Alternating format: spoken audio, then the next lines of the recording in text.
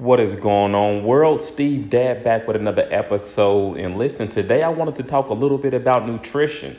So, uh, you know, what I've done is open up uh, MyFitnessPal. Uh, do me a favor, stay tuned in this video, and I'll actually tell you how to connect with me on there as promised. Uh, I want to make every single thing that I eat accessible to you. But in this video, what I want to do is also share a few nutrition based tips that you can utilize to support you along your journey. All right. So, Let's start with uh, Monday, May 17th. We'll start with day number one on this journey, at least day number one for me. Uh, you can kind of see what I had for breakfast. That uh, crunch salad, that's uh, actually a kit that you can get from Costco. Um, breakfast two. Um, so I have my meals labeled as breakfast one, breakfast two, lunch one, lunch two, dinner one, dinner two, just to help me have a general reference of what time I consume them although there is a note section at the bottom where you can put in specific times if you want to go to that extent. Uh, this right here, what you're looking at, this breakfast too, that is actually a protein shake. Typically post workout, I'll have a uh, vegan protein, uh, plant-based protein shake. Uh, I can't consume dairy or dairy. It, it messes me up big time. So I avoid it as much as possible. Um, you can kind of see what I had for lunch. Uh, there, right here, you can see I went out to McAlister's. What's really interesting about this is that like, I got a salad, uh, chicken salad, I believe, with raspberry dressing. Uh, yeah, which wasn't bad. But one of the things I, I noticed immediately, and I kind of already knew this, but look how much sodium is there. Oh, low power. Hopefully, I can still make it. Look how much 790 milligrams of sodium. So, you know, we really have to be careful about how much sodium we're consuming for multiple reasons. One of those reasons being that the placement of water in your body is going to be significantly influenced by the amount of sodium you have and where the sodium is located. All right. So basically, as you're consuming more sodium, uh, what's going to happen is your body is going to begin retaining more water. Right. And and it's great to stay hydrated. You know, we need to, we need to drink plenty of water. But if you get to the point where you have a ton of sodium in your system and all of a sudden now you're retaining that, and it kind of can lead to some other health related issues. So definitely want to be mindful of the amount of sodium you're consuming. And you really got to be careful when you go out and eat because that's one of the ways that they flavor food is by using a lot of salt. Uh, lunch two, there was nothing there. Uh, and then here's the dinner that I had uh, pasta. Man, and, and this is probably one of the most beautiful things about tracking everything that you eat and accurately measuring it is that sometimes it brings things to light. Now, don't get me wrong, I understand carbs. I knew that pasta, I know it can catch up with you, but like just looking at this meal I had for dinner, it's, uh, you know, I had four ounces of pasta with four ounces of ground turkey, uh, some Texas, garlic, uh, Texas toast garlic bread, and then some uh, pasta sauce or spaghetti sauce, whatever you want to call it. But I came in at almost a thousand calories in that meal. But like if you look at it, you will see that really it was the high carb items that really done me in. You know, like I've got this pasta that came in at 400 calories. Um, or yeah, 400 calories, 400 kilocalories. We'll talk about that at some point also. And then same with this Texas garlic toast, right? 34 grams of carbohydrates there. Uh, and you know, th- those are things that you have to be mindful of. You can see later on that evening, I was still hungry, so I ended up having another salad. Uh, Total and total for that day, I ended up consuming a little bit over 2,300 calories. You can see at the very top. Uh, next to it, where it says exercise, there's an adjustment you can make in the MyFitnessPal app that will allow it to uh, monitor your your how much you're moving throughout the day. I link mine through Fitbit. I'll share that information with you also, how you can uh, link up with me and get in touch there. But basically, utilizing that app, uh, basically it tries to keep an accurate measure of my activity levels and factor that into how many calories I can consume per day.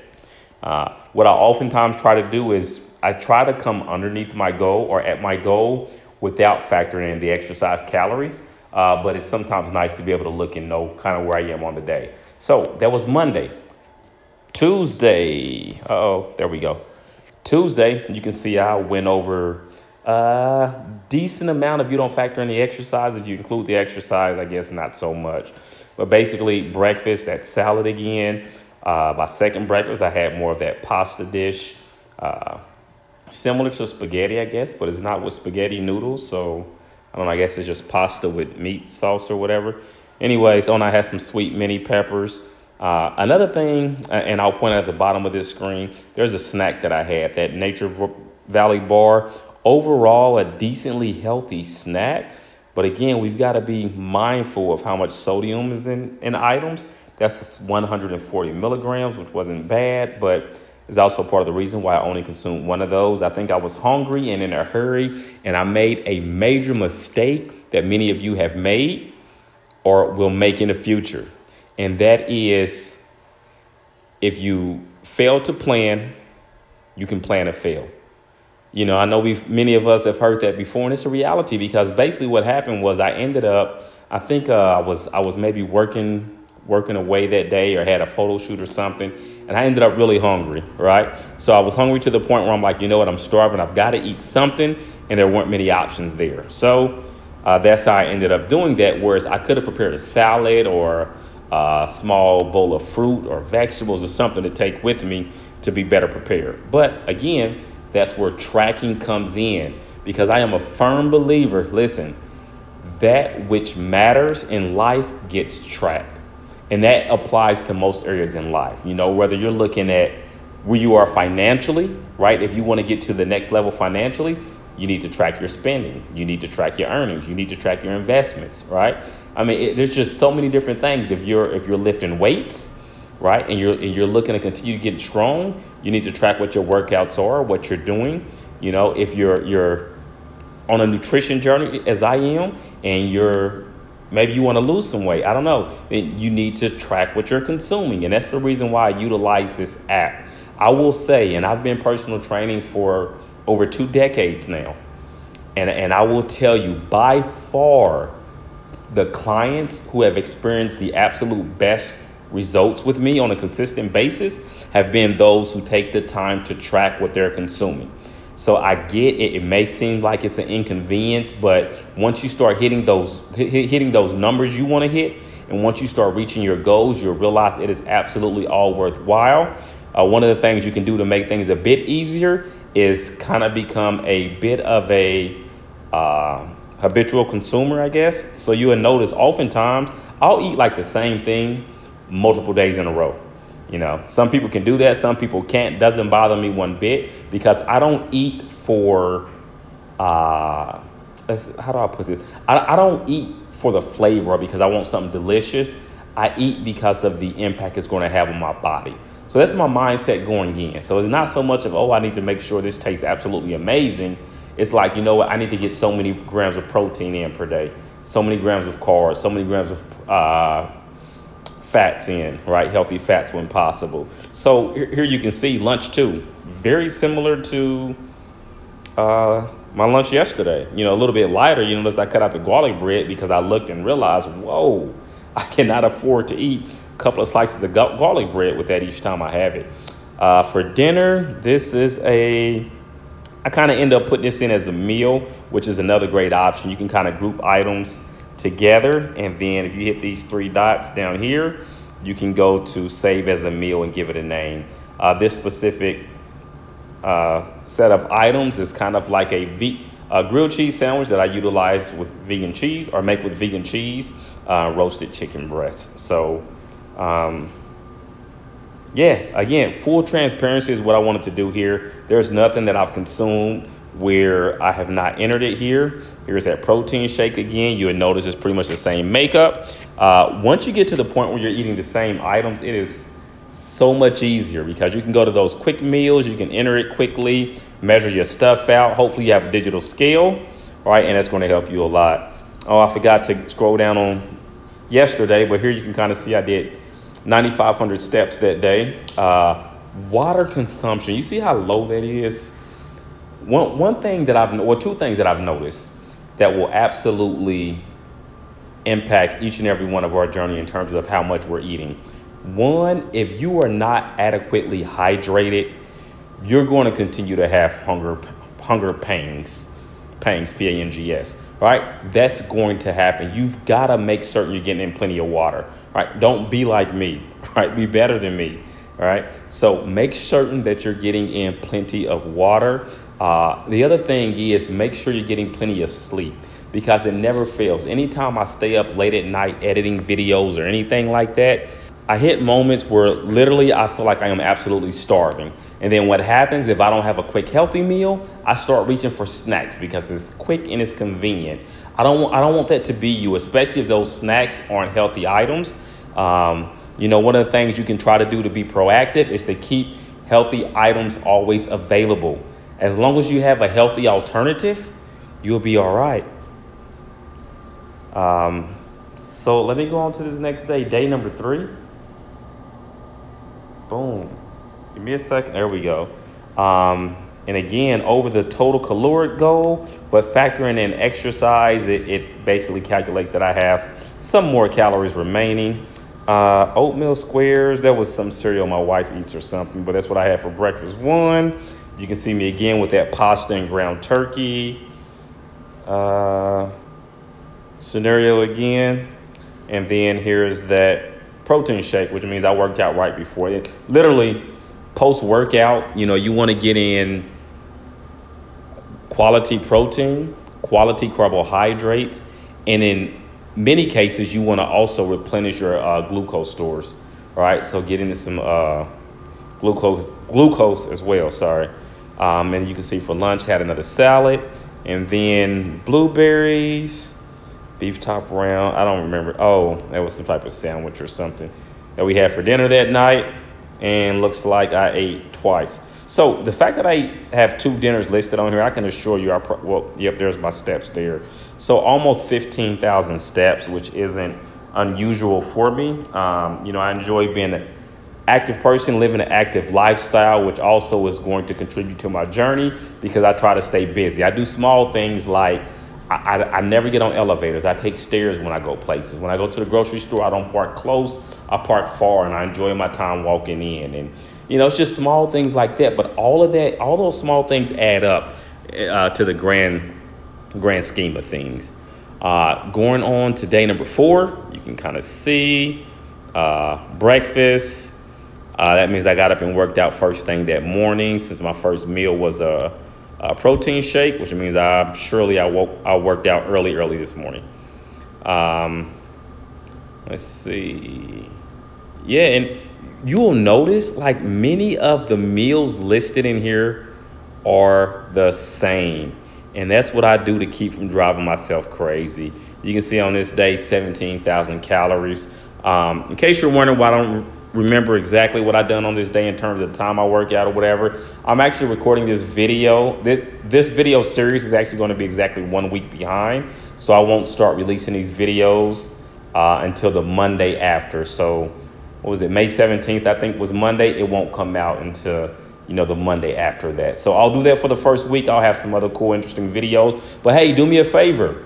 Make certain you like, comment, subscribe. Let me know where you are. Let me know if there's anything I can do to help you along your journey. Uh, you know, my goal is to get out here and help, you know, in whatever way that I can. Um, I'll continue logging meals and things. I'll continue staying active and showing you all the ups and downs in my journey. I will admit, I've had moments of weakness. You know, there, there was one moment where literally late at night, going back to me staying up late editing real estate videos, but, you know, I got to the point where I just had a, a craving for something sweet. But instead of going in there and grabbing one of the kids' snacks or something, uh, we had blueberries and strawberries in the refrigerator. So I measured out a couple ounces of blueberries and a couple ounces of strawberries. And you know what? They were they were they were in season. They were absolutely delicious. And one of the other things that you'll notice, and I'll kind of bring this video to a close, but one of the other things that you'll notice is that when you start cutting out like the the artificial sugar and and and uh yeah, well, just when you start cutting out junk food, we'll call it, right? the, the, the snacks and, and candy and stuff like that, whatever, whatever your sweet tooth thing is, you will find that fruit is extremely sweet. All right, so you start getting rid of some of that high tolerance you have for it, and then like when you eat, like when I ate blueberries and strawberries, it was like a like a, it was almost like dessert, you know. Now keep in mind although fruit is great for us, sugar is still sugar. So that doesn't mean that every day, all day, you should just be sitting there pounding uh, you know, blueberries and strawberries and, you know, or whatever your preference is. You know, er, most things when it comes to eating, oh, no, no, I take that back. All things when it comes to what we consume we always have to have the mindset of moderation, right? It water included. You know, there was a uh, on a radio show. Uh, I don't know. This has probably been maybe 10, 15 years ago. There was a water drinking contest, and one of the contestants unfortunately passed away from. Uh, oh, what is it called? Uh, blah, blah, blah, I cannot remember the exact term off the top of my head, but basically having too much water. Was it hypernatremia, maybe? I don't know. Hey, you know what? Somebody look that up and tell me. I can't remember off the top of my head. It's been a while back, but basically from consuming too much water at one time. So, yes, too much of anything can be a bad thing for you. Now, this individual, I'm certain, consumed like over, like, it, it, may have even been like gallons of water in a very short period of time, right? So that's not going to be us. We're going to drink water all day long, but we're not going to just sit there and chug gallon after gallon after gallon while on a radio show or talk show being inactive or anything like that. So, hey, listen, hope this video served you well. Uh, and I also hope that it's recording audio because I'm on my phone. I couldn't get the MyFitnessPal to work on the computer. Speaking of which, this is how you find me on MyFitnessPal. If, Download the app. Download the app. And the next thing you're going to do is subscribe to this channel. When you subscribe to this channel, I'll see what your name is, what your username is. And then on the MyFitnessPal app, send me a friend uh, friend request, a friend invite.